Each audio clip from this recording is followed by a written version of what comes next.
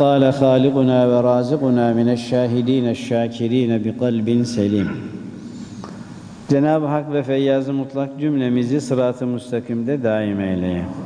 Sevdiği ve razı olduğu kulları zümresine ilhak eyleye. Yaşadığımız müddetçe iman ve İslam üzere yaşamaya, son nefesimizde de hüsnü hatime ile çene kapamaya Rabbim cümlemizi muvaffak eyleye. Kıymetli dostlar, okuduğum ayeti kerime Ahzab suresinin 21. ayeti kerimesi. Rabbimiz Celle ve Ala Hazretleri biz insanlara, biz kullarına bu ayeti kerimesinde hayatımızın her safhasında uygulayabileceğimiz önemli bir bilgiyi vermektedir. Zekat zengin olanlara farzdır. Hac zengin olanlara farzdır. Zekatla ilgili konular fakiri ilgilendirmiyor. Hac ile ilgili konular da hacca gidemeyecek olan insanı ilgilendirmiyor.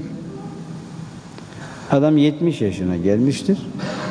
Hacca gitmemiştir. Hac ile ilgili konular onu ilgilendirmemiştir. Fakirdir, hacca gidememiştir. Ama bazı ayeti kerimeler vardır ki su gibi. Herkes nasıl ki suya muhtaçtır, ayeti kerimenin anlattığı gerçeklere de öylesine herkes muhtaçtır. Kıymetli dostlarım, her biriniz, her birimiz çocukluğumuzdan bugüne gelinceye kadar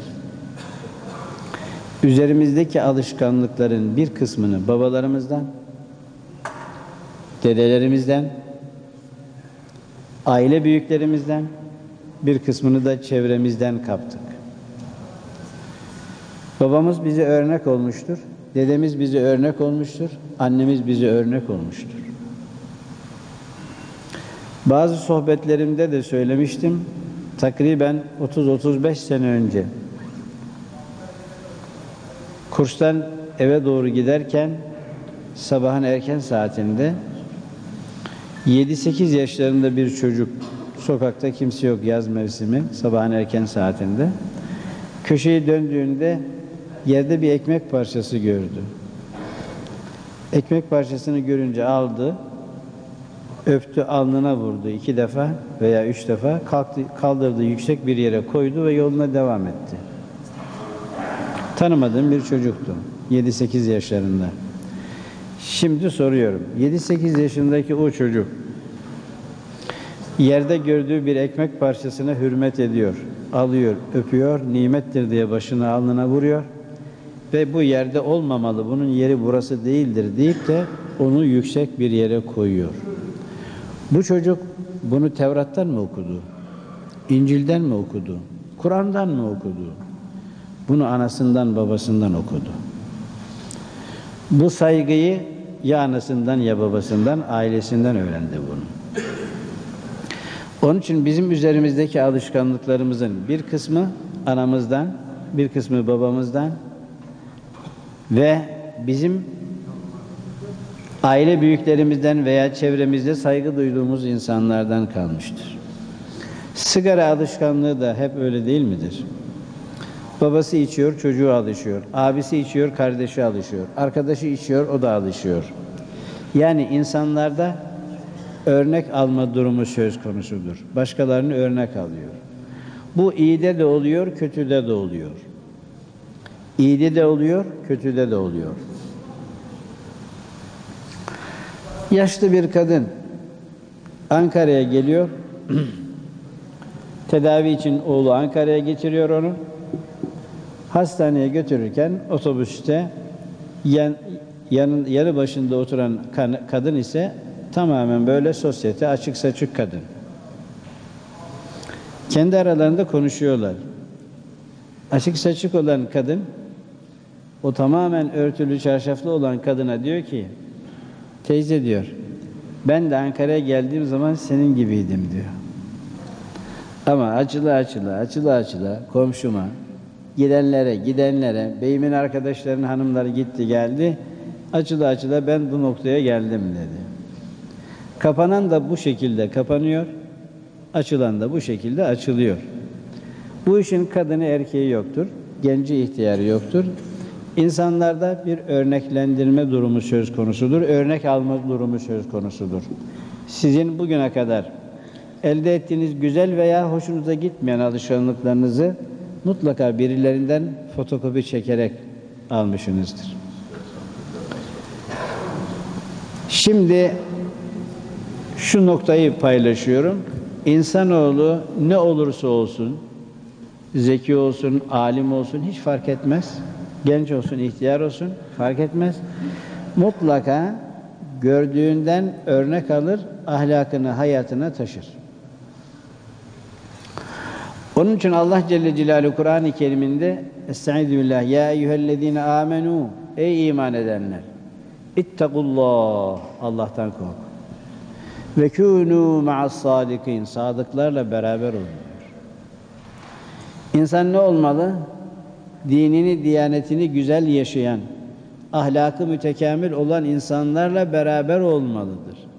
Neden öyle olmalıdır?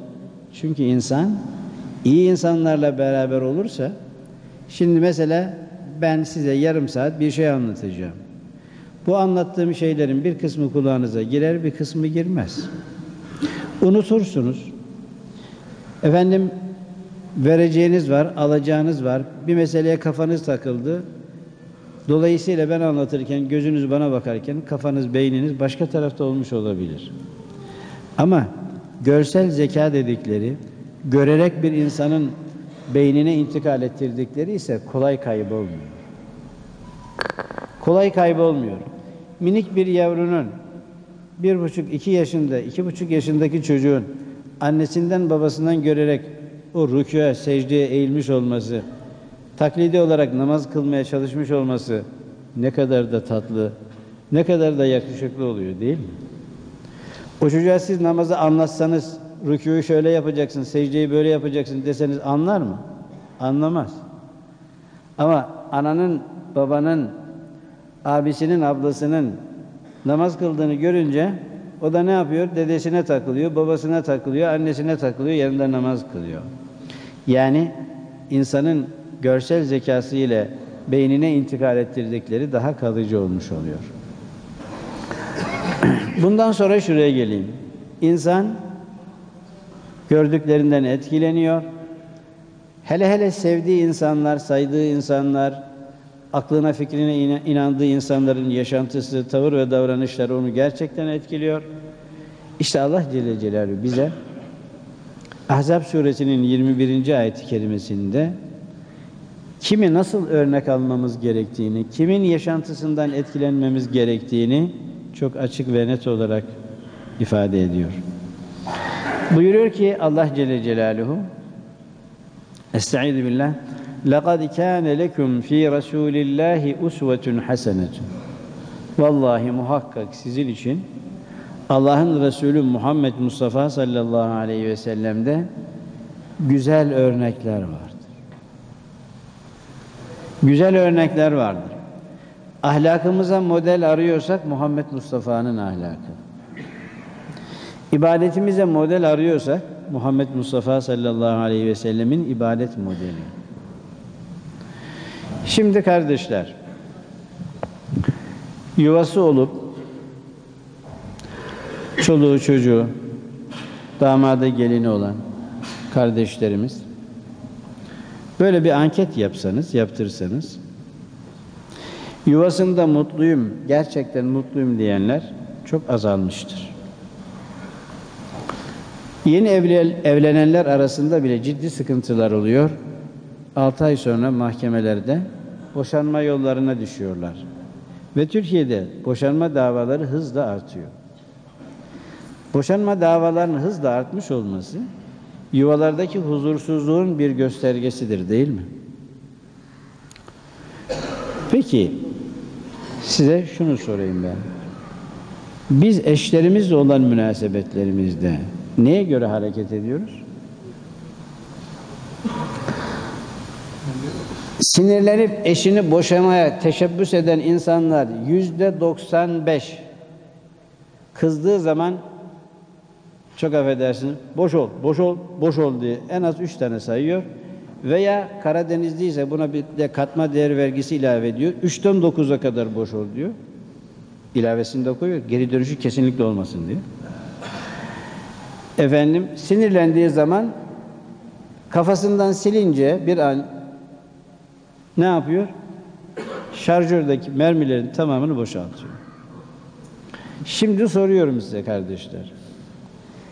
Bizim eşlerimizle tatlı ve acı günlerimizdeki münasebetlerimiz Peygamber Efendimiz sallallahu aleyhi ve sellemin tatlı ve acı günlerindeki eşleriyle olan münasebetlerine eğer örnek alacak olsaydık şu anda içinde bulunduğumuz millet olarak içinde bulunduğumuz buhran olur muydu? Olmazdı. Kardeşim, dostum, bir tane hanımı idare etmekte zorlanıyoruz. Efendimiz dokuz tane hanımı idare ediyor. Hep günler tatlı günler değil de acı günler olmadı mı? Kur'an'a bile yansıdı acı günler. Şunu söylemek istiyorum. Bir insan eşiyle ömür boyu yaşamak mecburiyetinde değildir. Yani geçimsizse geçimsiz. Bu geçimsizlik bazen erkekten olur, bazen kadından olur. Arzu edilen nedir? Allah'ın emriyle nikah kıydıysan bu sonuna kadar devam etmelidir. Ama çekilmez bir manzara olduysa kadından olabilir, erkekten olabilir. Bu yuva bozulacaksa bunun usulü yok mudur? Doğru düzgün usulü yok mudur? Bakınız ben işin içerisinde olan birisi olarak yani çok fetva sorulduğu için işin içerisinde diyorum. Yüzde 95 usulsüz. Usulsüz, usulsüz. Şimdi şu noktaya geleceğim. Bizim eşlerimizle olan münasebetlerimiz Peygamber Efendimiz sallallahu aleyhi ve sellemi örnek alarak münasebetlerimizi ayarlayacak olsak bugün toplumda olan huzursuzluk olmaz. Bizim komşularımızla olan münasebetlerimiz, Peygamber Efendimiz sallallahu aleyhi ve sellemin komşularıyla olan münasebetini nazar itibarı alarak olsaydı, bugünkü manzara olmaz. Geçenlerde bir kardeşimiz bir dostunun cenazesini götürmüş mezarlığa defnetmek için. Arkadaşının cenazesini defnedince bakmış ki bir araba daha geldi. Cenaze arabası. Normalde cenaze arabasının peşinde birkaç tane daha araba olur hani defnetmek için gelenler. Bu cenaze arabasının arkasında sadece bir araba var. Bir taksi var. Takside de sadece şoför var. O da yaşlı birisi. Başka hiç kimse yok. E, cenaze arabadan indirilecek. Cenaze imamı, şoför. İkisi yetmiyor bunu indirmeye. Adam da taksiden inmiyor. Cenaze sahibi de taksiden inmiyor.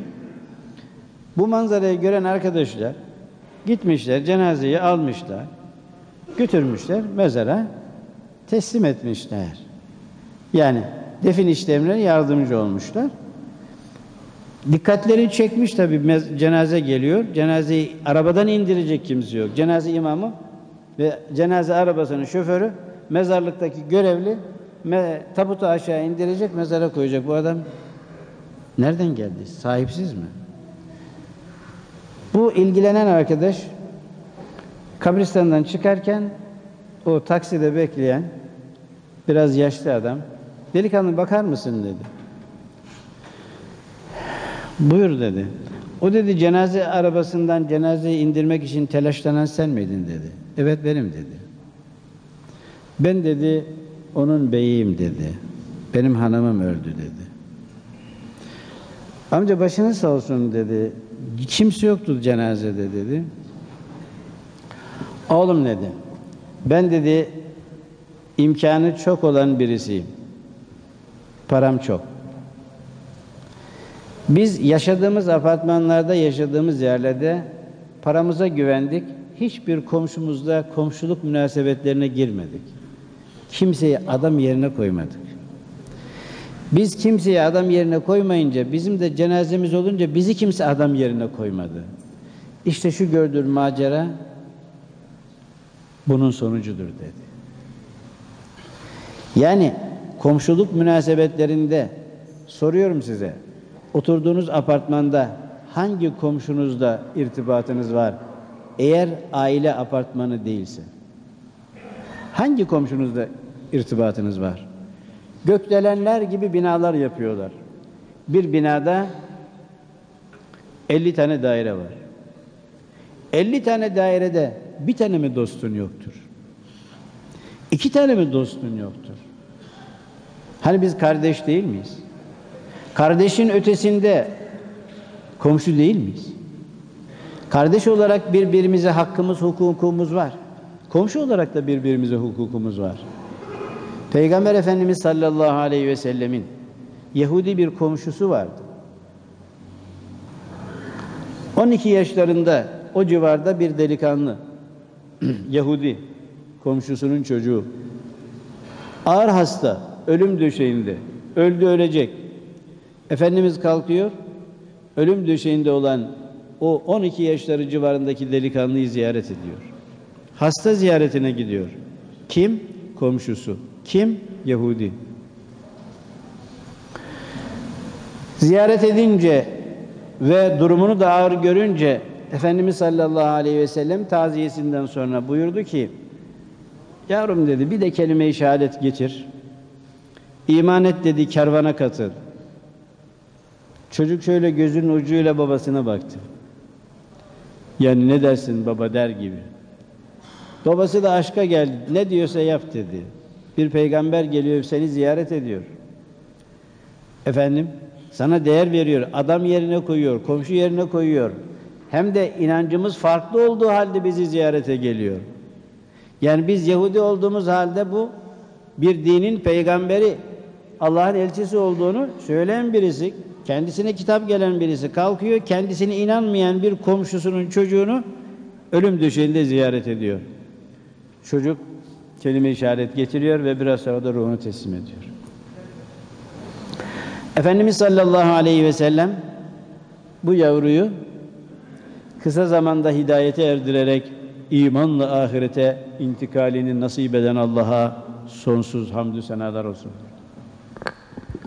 Kardeşler, komşuluk hukukunda Yahudi olan komşusuna bile böylesine davranan bir peygamberin ümmeti olarak Müslüman olan komşumuz, alttaki, üstteki, sağdaki, soldaki komşularımız bizi hiç ilgilendirmez mi? Elbette ilgilendirir. İsmini bilmeyiz. Memleketini bilmeyiz. Hastaneye kalktık, öldü mü, ölmedi mi? Onu da bilmeyiz. Adamın cenazesi defnedilir.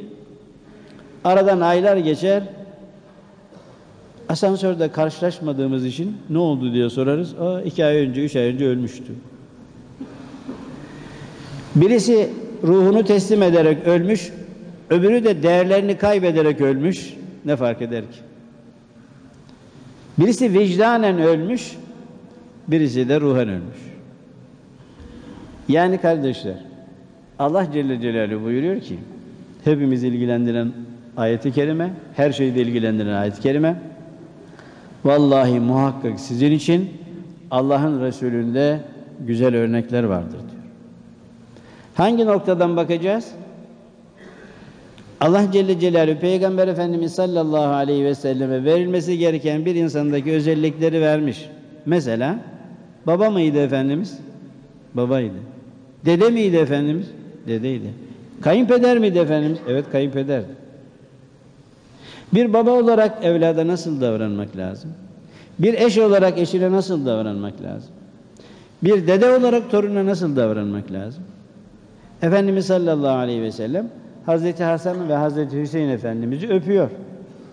Geliyor bunu gören Arabi bir tanesi diyor ki ya Resulallah benim diyor on küsür tane torunum var diyor. Biz diyor çocukları öpmeyiz diyor. Yani yadırgıyor dedenin çocuğu torununu öpmesini yadırgıyor. Biz diyor prensip olarak öpmeyiz diyor. Efendimiz de buyuruyor ki sallallahu aleyhi ve sellem Cenab-ı Hak senin kalbinden merhameti soyup aldıysa ben ne edeyim sana diyor. Eğer senin kalbinden Allah merhameti soyup aldıysa, torunu öpmeyecek kadar katı tutumluysan ben ne edeyim sana? Efendimiz sallallahu aleyhi ve sellemi her yönüyle örnek alabileceğimiz birisi olarak Allah bize lanse ediyor. Beyan ediyor Ahzab suresinin 21. ayeti kerimesinde. Kıymetli kardeşlerim, insanoğlu etkilendiğini ifade ettim. Gördüklerimizden biz ne yapıyoruz? Etkileniyoruz. Eğer biz bir çevrede bulunuyorsak birileri de bizden etkileniyor. Çocuklarımız, torunlarımız bizden etkileniyor.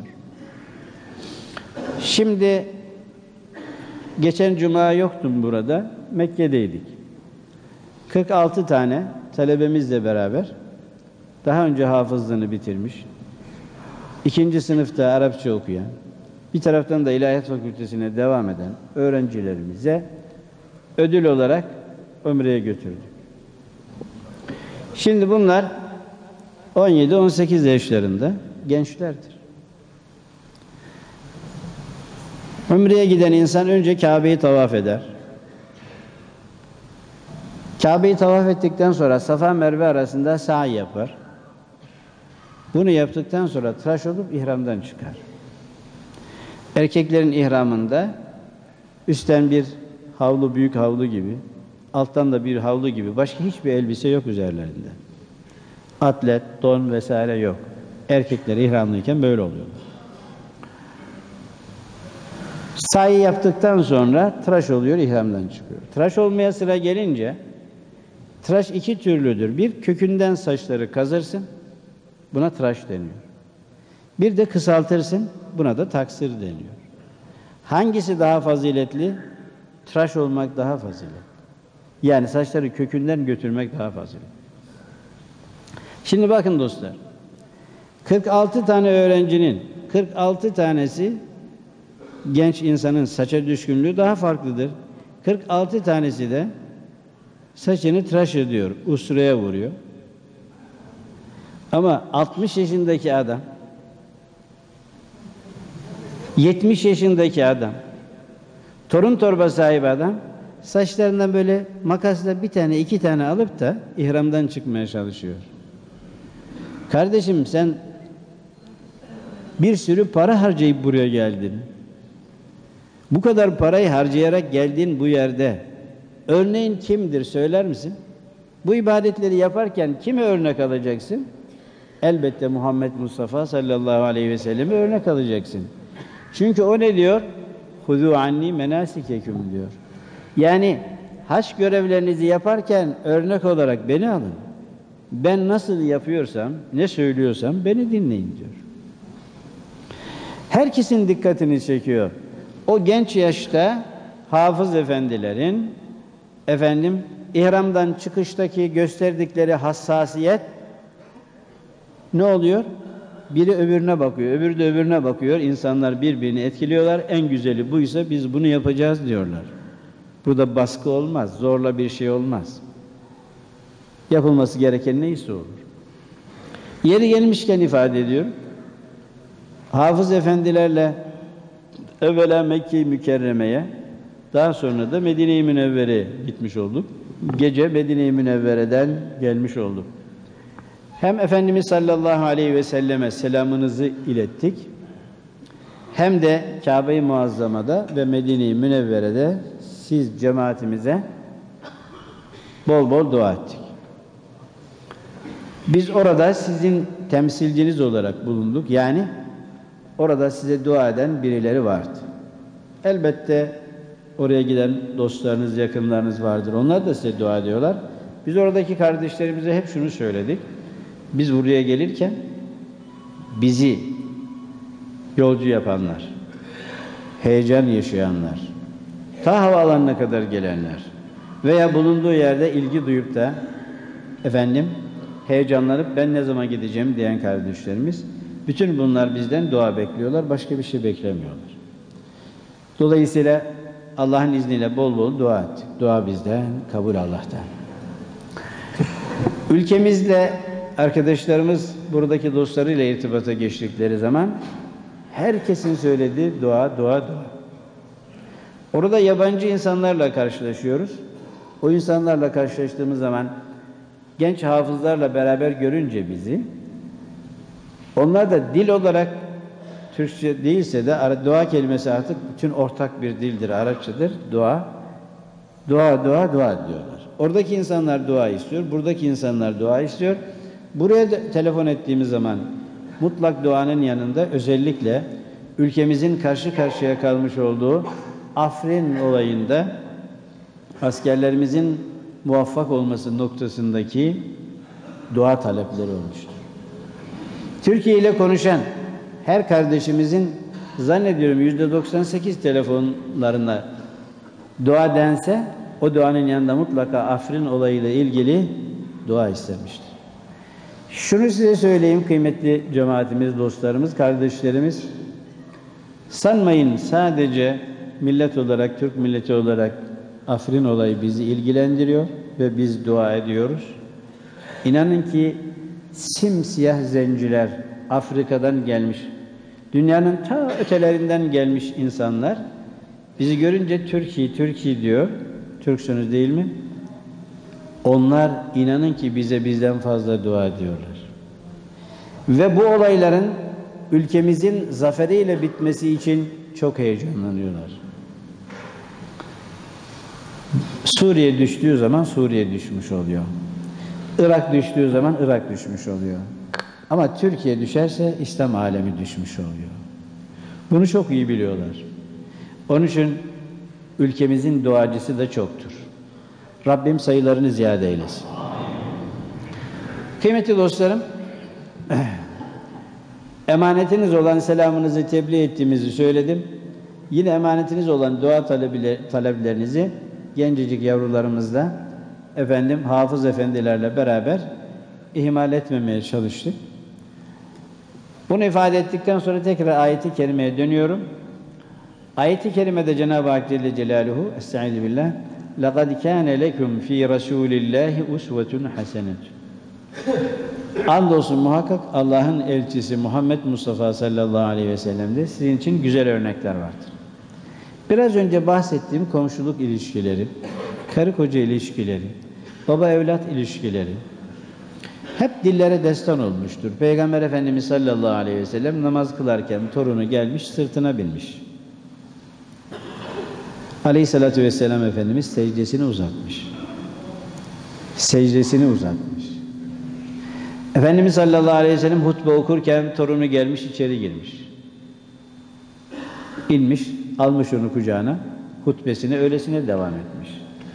Yani bir dedenin torununa olan münasebetlerinde hutbeden aşağı inecek.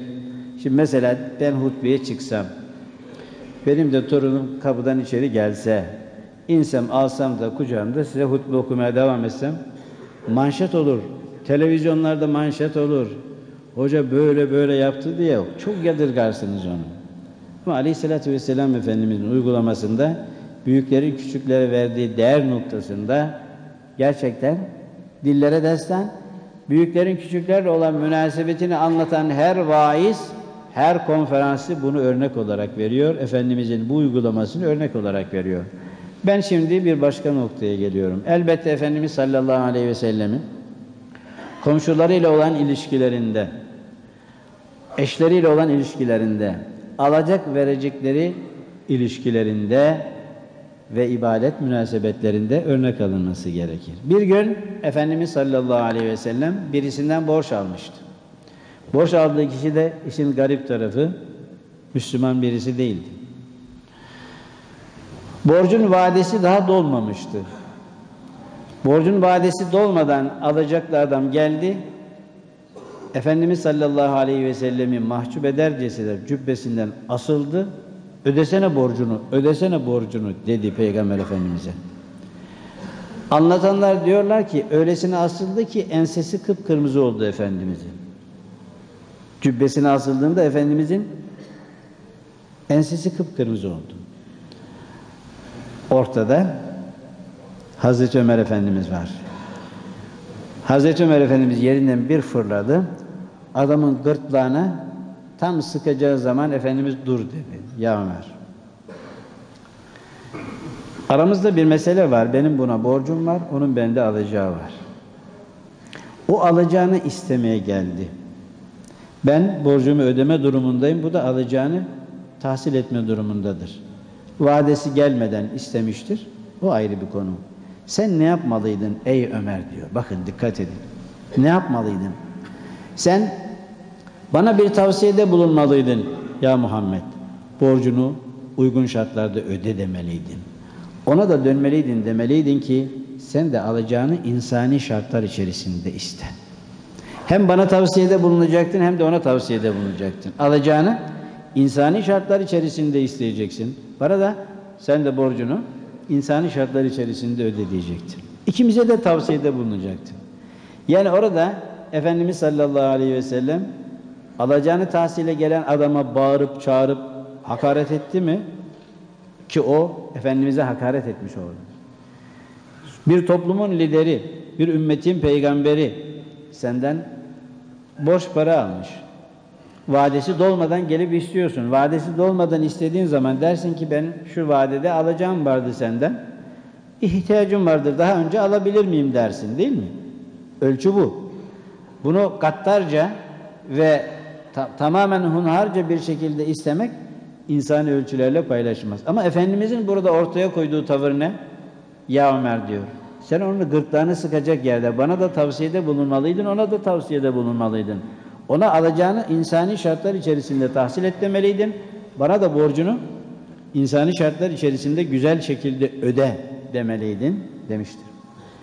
Şimdi kıymetli dostlar bir başka noktaya taşıyorum. Örneklik noktasını bir başka noktaya taşıyorum. Biz insan olarak komşumuz olacaktır, anamız olacaktır, babamız olacaktır, eşimiz olacaktır, çocuklarımız olacaktır.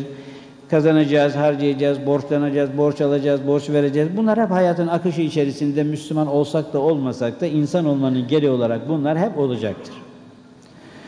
Bu dediğim münasebetler Müslümanlar arasında olduğu gibi kafirler arasında var, zenginler arasında var. Bu münasebetler herkes arasında vardır. Ancak biz inancımız gereği bizde olan bir şey var ki başkalarında o yok. Nedir o? Allah'a karşı ibadet konusu. Allah'a karşı ibadet konusunda kıymetli dostlar yine bizim tek örneğimiz Muhammed Mustafa sallallahu aleyhi ve sellem'dir. Biz ibadetimizi Muhammed Mustafa sallallahu aleyhi ve sellemin ibadetine ne kadar benzetirsek kulluğumuzu onun kulluğuna ne kadar benzetirsek o kadar kaliteli olur. Şimdi altın sarraf kardeşlerimiz iyi bilirler, kuyumcu kardeşlerimiz bilirler. Altın, adı altındır. Ama ayara vuruyorlar, 14 ayar diyorlar. 13 ayar diyorlar. 15 ayar diyorlar, 16 ayar diyorlar, 18 ayar diyorlar, en son 24 ayar diyorlar değil mi? Tamam namaz namaz da ayarına gelelim. Kaç ayarlık namaz? Abdest abdest de kaç ayarlık abdest? Efendimiz buyuruyor ki sallallahu aleyhi ve sellem ümmetin günahlarını silen, derecelerini yükselten, ameller içerisinde isbâgul vudu indel mekâri. Zor zamanlarda, sıkıntılı zamanlarda, soğuk şartlarda abdest almak demiyor bakın. Abdesti düzgün almak diyor. Demek ki abdest abdesttir ama kaç kalite, kaç ayar? Altını alırken, satarken ayara bakılıyor mu, bakılmıyor mu? Bakılıyor. Ayarına göre değer ifade ediyor. 14 ayar altın ile 24 ayar altın aynı değerde midir? Değildir. O zaman ibadetlerimizin kalitesi de öyledir. İbadet deyince namaz nasılsa oruç da öyledir. Oruç nasılsa zekat da öyledir. Zekat nasılsa haç da öyledir. Dolayısıyla ibadet deyip de Allah'a yaklaşmak adına yaptığımız her türlü vazifelerimizde örneğimiz kim olmalıdır? Peygamber Efendimiz sallallahu aleyhi ve sellem olmalıdır. Öyleyse kıymetli kardeşlerim her biriniz çok ulvi duygularla en yoğun olduğunuz bir saatte buradasınız. Cuma günü ülkemizde çok yoğun bir vakittir, gündür. Alacaklar, tahsilat, hafta sonu olması münasebeti. Ama her şeye rağmen dışarıda sokaklarda bir sürü insan bunu kale almadan gezerken, tozarken siz dini hassasiyetiniz sebebiyle bu saatte camidesiniz. Ezan-ı Muhammedi'yi dinliyor, biraz sonra da hutbeyi dinlemiş olacaksınız. vazifelerinizi tamamlayıp gönül rahatlığıyla işinize dönmüş olacaksınız. Allah hepinizden razı olsun. Bu duygularınız sebebiyle sizi tebrik ve takdir etmemek mümkün değildir. Bunu alar re's ve layn. Cuma'dan cumaya gelen kardeşimiz için de aynı şeyi söylerim. Yani gelmeyen gelenden çok farklıdır. Ancak şunu ben kardeş olarak size söylemek isterim. Biraz sonra ben Fatiha diyeceğim. Siz kalkacaksınız. Dört rekat sünnet kılacaksınız. Arkasından cuma namazının farzını kılacağız. Güzel de gerçekten kardeşlerim benim kılacağım, sizin kılacağınız namazın örneğini peygamberin kıldığı namazla yan yana koysak o 24 ayar bizimki kaç ayar ne dersiniz? Bu ayar bozukluğundan rahatsızlık duymayacak mıyız? Eğer ayarı ayarlamak mümkünse bunu ayarlamayacak mıyız? Son cümle olarak şunu söyleyeyim. Konuyla ilgili ve dersimi noktalayayım. Sık sık sohbetlerimde söylediğim, düşünesiniz diye, tefekkür edesiniz diye söylediğim bir şey var. Ben kendi evime bakıyorum ve oradan da sizi kıyaslıyorum. Aynı olduğunu veya benzer olduğunu düşünüyorum. Şimdi hayat standartlarınızda 30 sene önceki evinizdeki eşyanın kalitesiyle bugünkü kalite aynı mıdır? Değil. Ayakkabı kalitesi 30 sene önceyle şimdi aynı mıdır? Değil. Çorap kalitesi aynı mıdır? Değil. Telefon kalitesi yoktu ki. Aynı mıdır? Değil. 5 sene önceki telefon kalitesiyle bugünkü kalite aynı değil. Yani aradan 2 sene, 3 sene, 5 sene geçince dünyalık olarak evimizde kullandığımız, elimizde kullandığımız her şeyin kalitesi yükseliyor, yükseliyor ama kıldığımız namaz 50 sene önceki kalitedeki namaz. Ya bunun ayarı mümkünse niye ayarlamayalım ki? Hep kalitesiz kalmamalı. İbadette örneğimiz kim olmalı? Muhammed Mustafa sallallahu aleyhi ve sellem olmalı. Yüce Rabbim Celle ve Ala Hazretleri her birimizi onu her şeyde olduğu gibi ibadetimizde de güzel bir şekilde örnek almaya muvaffak olan kullarından eylesin. Yüce Rabbim operasyon halinde olan askerlerimize ve komutanlarımıza yardım eylesin. Mansur-u muzaffer eylesin. Yüce Rabbim Celle Celaluhu komşu ülkelerimizde ve sınırımızda bizim için, ülkemiz için, geleceğimiz için tehlike unsurları oluşturmaya çalışıp ülkemize diz çöktürmek isteyenlerin diz çöktüğünü görmeyi bütün dünyaya nasip eylesin. Tehlike çukurları kazarak bizi o tehlike çukurlarına düşürmek isteyenlerin kendilerinin o tehlike çukurlarına düştüğünü avaz avaz bağırdıklarını görmeyi de Rabbim millet olarak her birimize nasip eylesin. Kıymetli dostlarım, Rabbim Celle ve Ala Hazretleri haklının yardımcısıdır, doğrunun yardımcısıdır. İnanıyoruz ki biz buradan Allah'ın izniyle bu kadar dua ile başarılı olarak çıkacağız.